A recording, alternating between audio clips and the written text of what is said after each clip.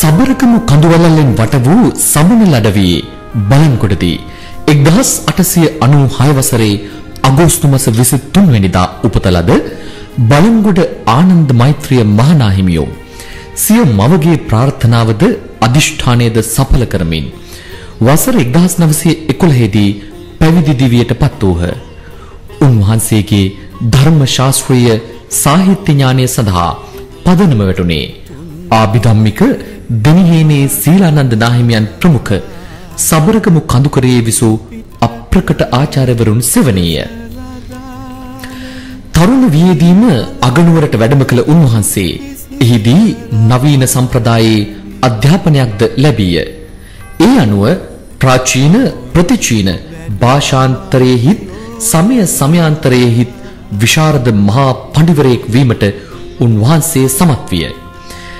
තේරවාදී සම්ප්‍රදායසේම මහායාන වජ්‍රයාන සම්ප්‍රදායන් පිළිබඳ විනිවිද යන සියුම් දැනුමකින් හා තර්ක ඥානයකින් සන්නද්ධ වූ මේ යතිවරයාට සමකල හැකි යතිවරයෙක් සමකාලීන සමාජයේ නොසිටියේය. කිසිදු දිනක පිරිවෙනක හෝ විශ්වවිද්‍යාලයක අධ්‍යාපනය නොලැබූ උන්වහන්සේ පසු කලෙක විද්‍යෝදය විශ්වවිද්‍යාලයේ මහායාන බුද්ධ ධර්ම අංශයේ සමාරම්භක මහාචාර්යවරයාද වර එක උපකුලපතිවරයාද බවට පත් වූහ. භාවනා ක්‍රම දෙකක් තියෙනවා. හිත එකඟ කරගෙන හිත සංසුන් කරගන්න භාවනාව එකක්. අනික තමන්ගේ ජීවිතය ඇති හරියට තේරුම් ගන්න භාවනාව. ඔය භාවනා ක්‍රම දෙක විතරයි තියෙන්නේ. අර මුල් එකෙන් හිත සංසුන් වෙනවා. හිතේ එමෙ ඇති දුවන ගතිය නවතිනවා. අර දෙවෙනි ඉහළ භාවනාවෙන් මගේ ශරීරය කොයි විදිහේ දෙයක්ද මගේ හිත කොයි විදිහේ එකක්ද? ඒවා කිලුට වෙන්නේ කොහොමද? ඒවා පිරිසුදු වෙන්නේ කොහොමද? ඒවා නියම ස්වභාවය කොහොමද? කියන ඔය ජීවිතයේ தත්ත්වය හොඳට අවබෝධ වෙනවා හොඳ තේරුම් ගන්න පුළුවන් වෙනවා දැනගන්න පුළුවන් වෙනවා Tamanටම හොඳට පෙනෙන්න වගේ වෙනවා.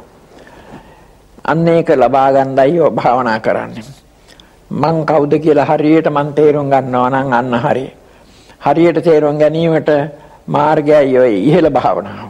අපි ඒකට කියනවා විපස්සනා භාවනාව.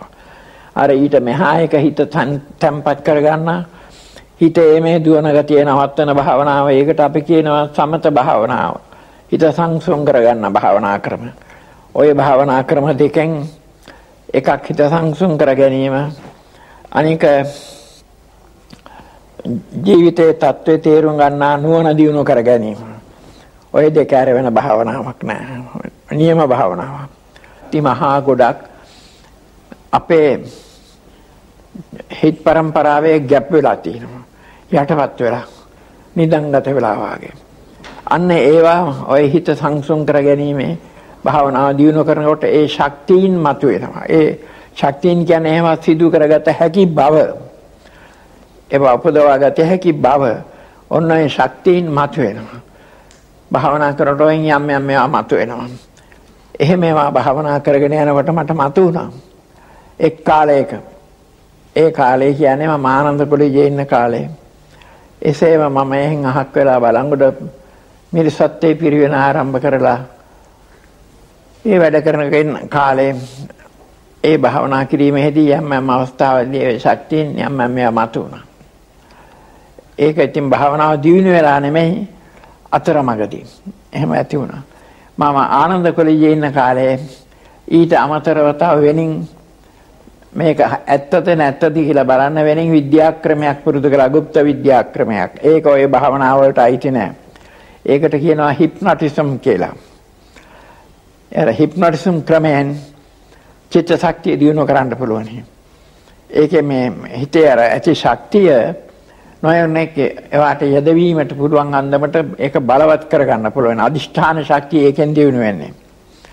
අදිෂ්ඨාන ශක්තිය ඒකෙන් දිනු කරගත්තම අනුන් වස කර ගන්න පුළුවන්. ඈතක ඉන්න කෙනෙක් තමන් ඉන්නේ දිහාට ගෙන්න ගන්න පුළුවන්. ඒ වගේම තමන්ගේ හිතේ අදහස් පණිවිඩ වශයෙන් වෙනින් ඈත කෙනෙකුට යවන්න පුළුවන්. එයාගෙන් පණිවිඩ ලබා ගන්න පුළුවන්.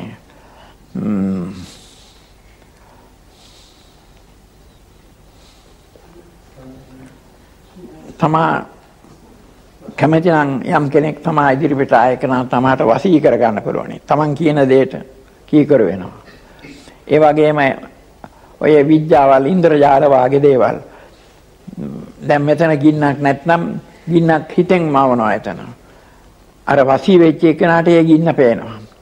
අන්න එහෙම දේවල් කරන්න පුළුවන්. ඔනෝම විද්‍යාවල වාගේ ඒවා මේවා ඇත්තද කියලා බලන්න මං හිප්නොටිසම් කලක් පුරුදු කළා.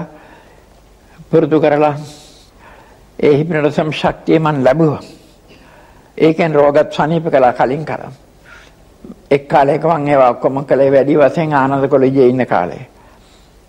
පස්සේ මේවා සත්‍ය බව මන් තේරුණා. අනික් අතින් ඒවා වෙනම කොට නෙමෙයි අපේ සමත භාවනාවේම කන පිට නියම පැත්ත නෙමෙයි. ඒ නිසා මම ඒවා අත්හැරියා. අත්හැරලා නියම භාවනාවට වැස්සා. සමත භාවනාව. අර ඉසරේ පුරුදු කරපු ඔක්කොම අත්හැරියා නිකන් විද්‍යාවල වගේ වැඩක් නෑ. බුදු බව පතන බලංගොඩ ආනන්ද මෛත්‍රී මහානාහිමි කියලා මේ රටේ මහත් ප්‍රසිද්ධියක් අද ඇතිවලා තියෙන මහානායක හඳුරෝ බුදු බව පතන බෝධිසත්වවරයෙක් කියලා. ඒ ගැන මොකද මහානායක හඳුරන්ට කියන්න තියෙන්නේ? මම ඕක බුදු බව පතන කියන එක දාන්න එපා කියලා කොච්චර කිව්වද? මම ඕක ප්‍රසිද්ධ වෙනවට කැමති නෑ. ඒ වගේ ප්‍රාර්ථනාවක් මහානායක හඳුරන්ගේ තියෙනවද? තියෙනවා. තියෙන බව ඇත්ත ඒක පුංචි කාලේ පතරම තියෙනවා. ඒක දිගට කරගෙන යනවා. ඒක ඉස්සරහත්ම හිතම තියෙනවා. නොයෙකුත් තරාතිරම්බල අය එතුමන් ගැන පහන් සිරිතින් යුතුව විටින් විට පළ කළේ මෙන්න මේ වගේ නිර්ව්‍යාජ හැඟීම්. කුඩා කාලයේදී විලියම් නමිනුත් පුංචි මහත්තයා නමිනුත් හැඳින්වුණු නමුත් පසුව එතර මෙතර ඉමහත් ප්‍රසිද්ධියක් ලබමින් එතුමන් හැමදෙනගේ ගෞරවාදරය ලැබුවේ අතිපූජ්‍ය බලංගොඩ ආනන්ද මෛත්‍රය මහානායක ස්වාමීන්ද්‍රයන් ලෙසටයි. බුදුන් වහන්සේ දෙසූ දහම අනුව නිරන්තරයෙන් සිත දියුණු කරන අයෙක් සෝවන් සක්‍රදාගාමි අනාගාමි අර්ථ මාර්ගඵල ලබන බව පැවසෙනවා. එවන් වූ මං පෙතක බලන්ගොඩ නායක හාමුදුරුවන් පසුවන්නේ කොතැනකද?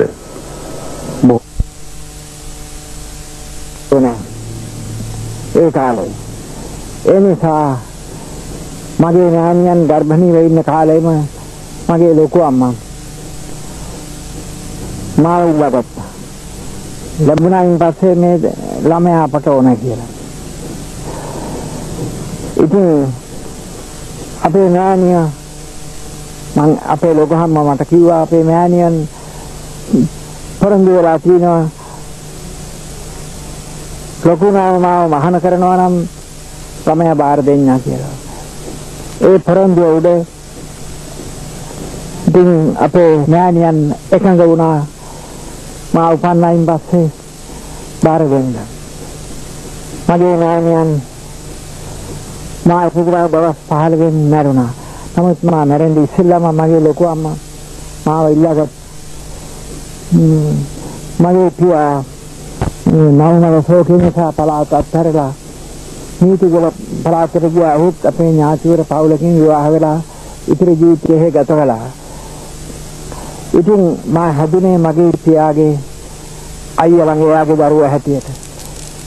ඉතින් පන්සලේ ගෙදර ඉඳලා පන්සලට යමින් මුල් බණ දහම් පොත් පාඩම් දෙන්නේ හිටියා ඔහොම ඉඳලා ඉතින් මහාන වෙන දවස ආවා.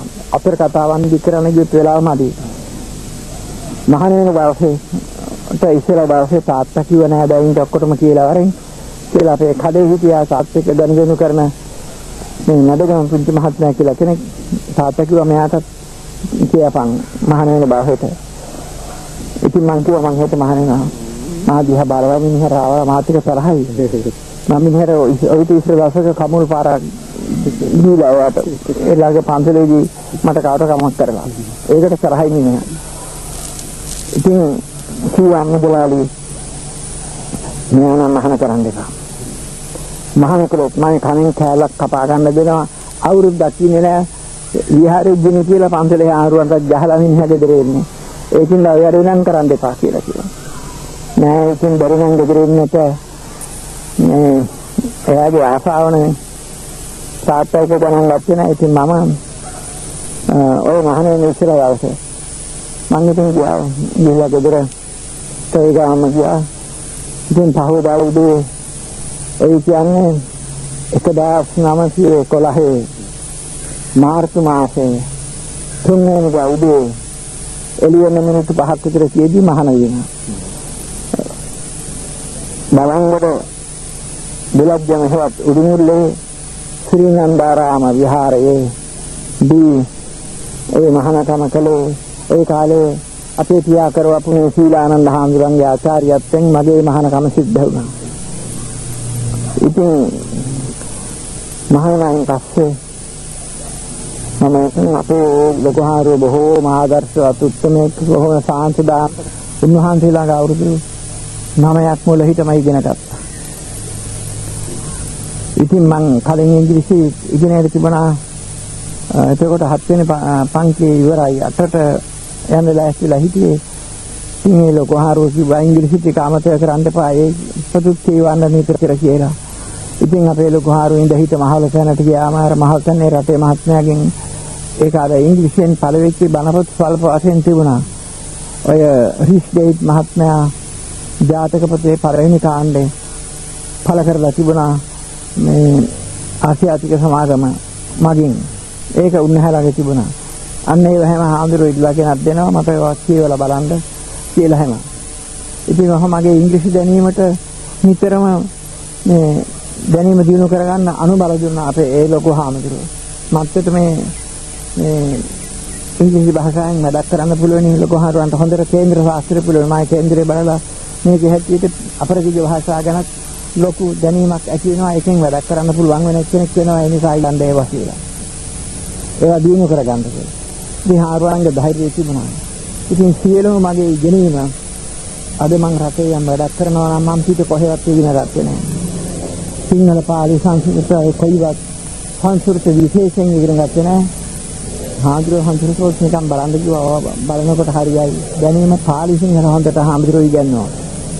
ඒ අවුරුදු 9 ඇතුළේ ඉගෙනීම ඉවර කරයින් වයස 23 වෙනකොට හාමුදුරුවෝ කිව්වා පත්‍රය දැකලා හොඳ රස පත්‍රේ පළ වෙලා තිබුණා කොරත් මහත්මයා ආනන්ද කොළීජයට වික්ෂුන් වහන්සේලා ඉංග්‍රීසි පන්තියකට ඇතුළත් කරගන්නවා ඒකේ විභාගයක් තියෙනවා කියලා.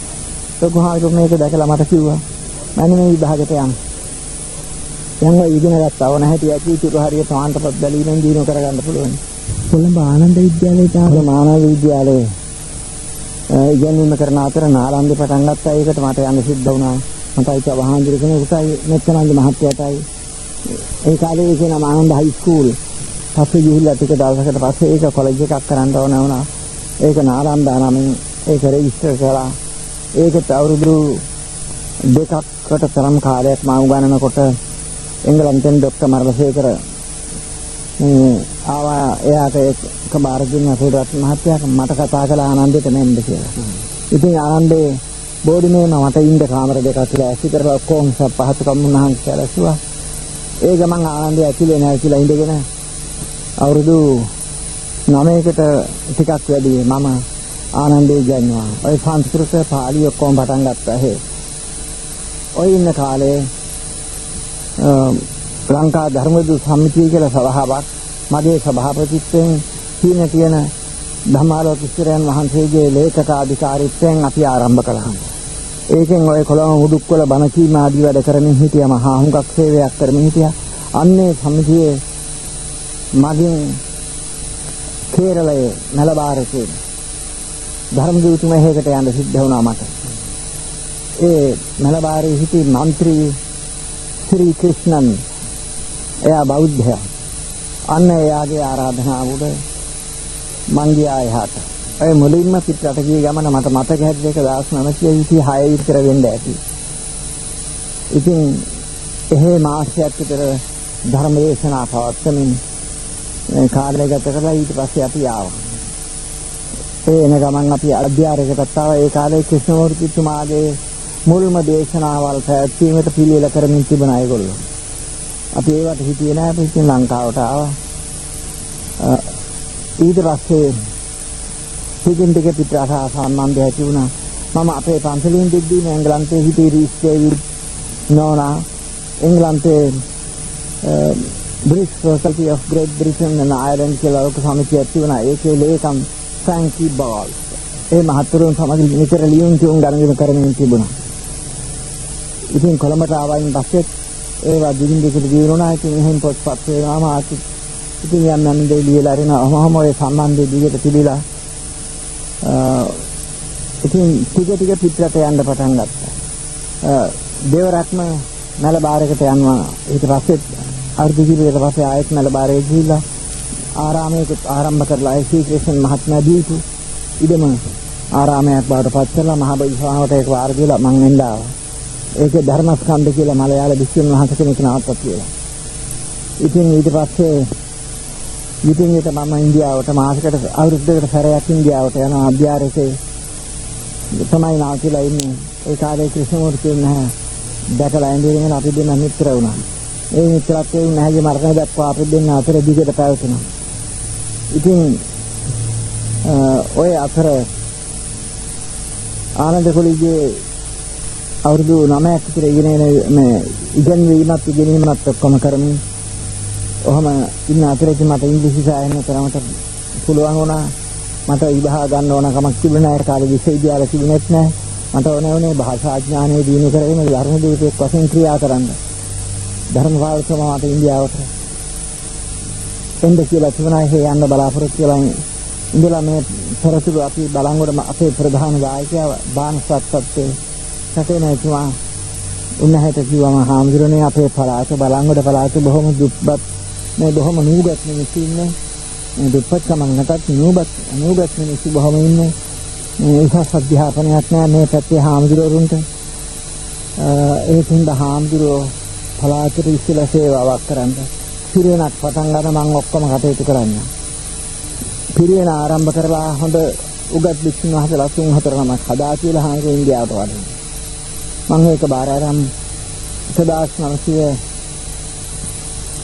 1935 තරමදී බලංගොඩට ඇවිල්ලා බලංගොඩ පිරිවෙන ආරම්භ කළා.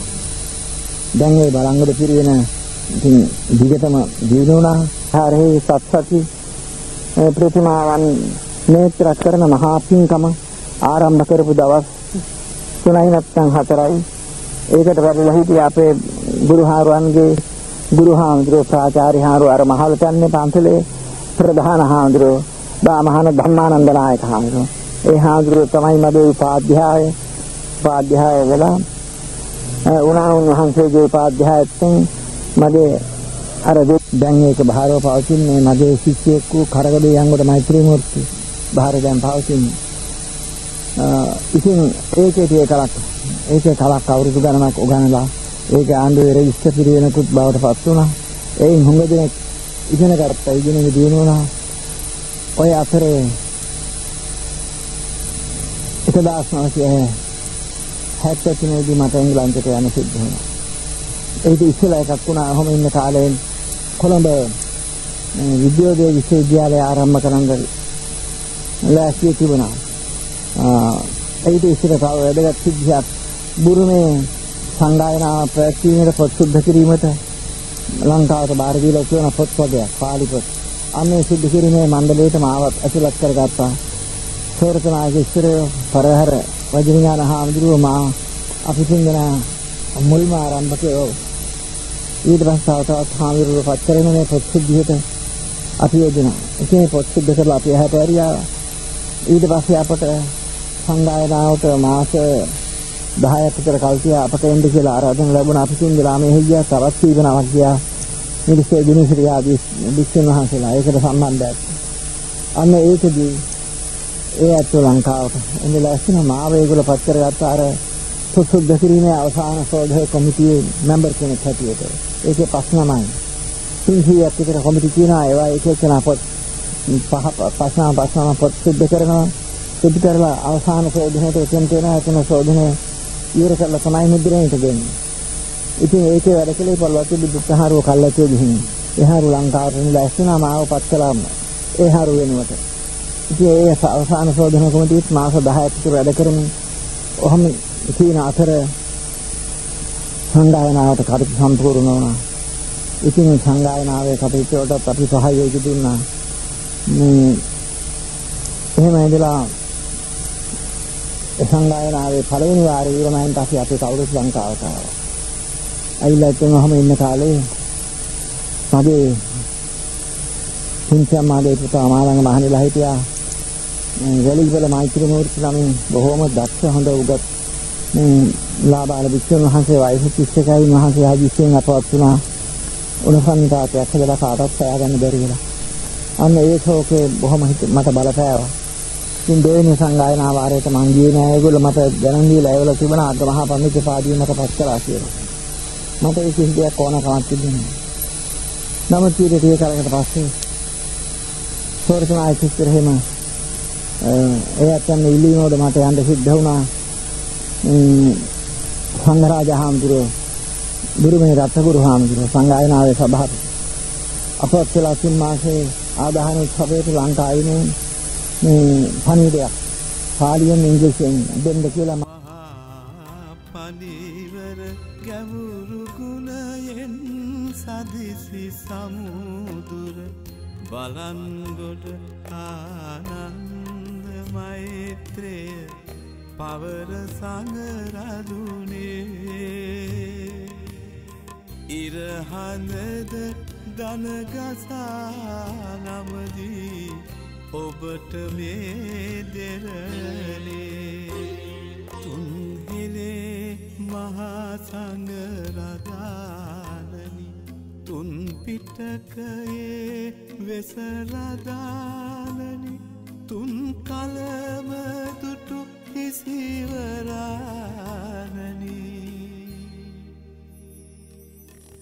බවුන් වැඩු මහ යෝගයානනේ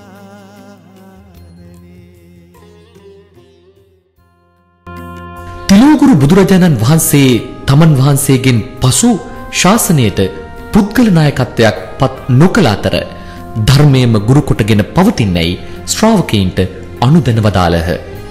ඒ අනුව ඒ ඕදන් අනුව ධර්මය ගුරු කොටගත් මහා යතිවරු ශාසන භාරධාරීව ඒ ඒ යුගයන්හි කාලීන ශාසනික මෙහෙවර ඉටු කරනු ලැබූහ. ඒ අතර බුදුරදුන් පිරිනිවී තෙමසකින් පැවති ප්‍රථම ධර්ම සංගායනාවේ මූලිකත්වයේ ගත් මහා කාශ්‍යප මහරහතන් වහන්සේ එයින් සියවසක ඇවෑමෙන් පැවති දෙවන සංගායනාවේ මූලිකත්වයේ දරූ සබ්බකාමී මහරහතන් වහන්සේ ලංකාවේදී පැවැත් වූ සිව්වන සංගායනාවේ මූලිකත්වයේ ගනු ලැබූ මිහිඳු හිමියන්ගේ ශිෂ්‍ය අරිට්ඨ මහරහතන් වහන්සේ ශාසන ඉතිහාසයේ මූලිකයෝ වූහ. බුද්ධ පරිනිර්වාණයට වසර 2500ක් ගත වීමෙන් පසු 20 වන සියවසේදී බුරුමේදී පැවති සයවන සංගායනාවේ මුලසුන හොබවමින් නූතන යුගයේ බුදුසසුනේ සංඝ පීතෘවරයන්න් වහන්සේ වූයේ අග්ගමහා පණ්ඩිත අභිධජ මහා රට්ටගුරු ත්‍රිපිටක වාගීශ්වරාචාර්ය මහා මහෝපාධ්‍යාය මහාචාර්ය බලංගොඩ ආනන්ද මෛත්‍රිය සංඝරාජානන් වහන්සේය. බොහෝම ප්‍රදේශවල මං බුද්ධ ධර්මයේ පිළිබඳ කතා පැවැත්වුවා පළවෙනි වාරේ. ඒ වතාවේ අවුරුද්දක් එංගලන්තේ හිටියා ලන්ඩන් විහාරේ. ඉතින් ඒ ඉන්න කාලේ නැවත නැවත ඔක්ස්ෆර්ඩ් විශ්වවිද්‍යාලයෙන් ආරාධනා ලැබෙනවා කතාවල් පවත්වන්න. ඔක්ස්ෆර්ඩ් විශ්වවිද්‍යාලයේ සමහර දවස්වල බෞද්ධයින්ට බෞද්ධ මණ්ඩල තියෙනවා එහෙ. සමහර දවස්වල අබෞද්ධයින්ට. සමහර ක්‍රිස්තියානි පල්ලි වලින් මට ආරාධනා ලැබුණා ඒගොල්ලන්නේ පාදිරිවරුන්ගේ රැස්වීම වලට රැස්වීමකදී ඔක්ස්ෆර්ඩ් ෂයර් කියන එකේ පාදිරිවරුන්ගේ මහා රැස්වීමක් තිබුණා අන්න ඒකෙදී ඒ ඇත්තන්ට බුද්ධ ආගම ගැන කරුණු කියන්න කියලා. ඒක 1984 බුද්ධ ආගමේ ඉගැන්වීමට අපි ගරු කරනවා. නමුත් බොහෝම අමාරුයි පිළිපදින්න. කියලා ඒකම ලොකු පාදිරි කෙනෙක් කිව්වා. මං කිව්වා ඇයි එහෙම කියන්නේ? බොහෝ අමාරුයි බුද්ධ ආගමේ ප්‍රතිපත්ති වැඩි. මං කිව්වා නෑ. බුද්ධ ආගමේ උගන්වන්නේ කාරණා තුනයි. හිත පිරිසිදු කර තියාගන්න. කටින් කරන කතාව පිරිසිදු කතා කරන්න. වැරදි කතා කරන්න එපා. වැරදි දෙය කියන්න එපා. කරන ක්‍රියාවල් හොඳ ක්‍රියාවල් කරන්න වැරදි ක්‍රියා කරන්න එපා. වැරදි ක්‍රියා කිරීමෙන් වැළකීම. වැරදි වචන කතා කිරීමෙන් වැළකීම. වැරදි විදිහට හිතීමෙන් වැළකීම. හෙවත් පිරිසිදුව හිතීම. අපිරිසිදු කල්පනාවෙන් වැළකීම. ඔය තුන පිරිසිදු හිත, පිරිසිදු වචනය, පිරිසිදු ක්‍රියාව. ඔය තුන කරන්න පුළුවන් නේද කියලා ඇහුවා. පුළුවනි. ඕක තමයි කිව්වා බුද්ධ ධර්ම. ඉතින් මොකද පිළිපදින්න අමාරු. ඉතින් ඔය විදිහට ඇත්තන්ට මම කරුණ පහදලා දුන්නා. ඔය කතා අවසානයේදී මා ළඟට ආවත් තරුණ පූජක කෙනෙක්. මාතට හිංසරේ කතා කරලා කිව්වා මම බොහෝම බුද්ධ ආගම ගැන කැමති වුණා. මට මහාන වෙන්න පුළුවන්ද? අවදි කරමුළු මහත් බටහිර දහම් බෙරවැයු මහා යතිවර අවදි කරමුළු මහත් බටහිර දහම් බෙරවැයු මහා යතිවර බලංගොඩ ආනන්ද මෛත්‍රය උතුම් ඇතුරිනුනේ ඔබයි රන්කොත අපේ හදවත් මාසෑය මුදුනේ තුන්හි විසිවැනි සියවස අවසන් වන විට ලොව ප්‍රකට චරිත සියය අතරට උන්වහන්සේගේ නමද ඇතුළත්ව තිබිණි. ඒ වන විට බෞද්ධ ලෝකයේ ජ්‍යෙෂ්ඨතම භික්ෂුව වූයේද උන්වහන්සේය. එසේ හේයින් බුරුම රජය විසින් තේරවාදී බෞද්ධ ලෝකයේ සංඝ රාජ්‍යවත් අභිධජ මහා රට්ටගුරු පදවියෙන් උන්වහන්සේ පුදනු ලැබීය. වසර 103ක් ජීවත් වෙමින් වසර 13ක් සාමණේර පැවිද්දකු ලෙසද වසර 73ක් උපසම්පන්න භික්ෂුවක ලෙසද උන්වහන්සේගේ ජීවිතය ගෙවිනි.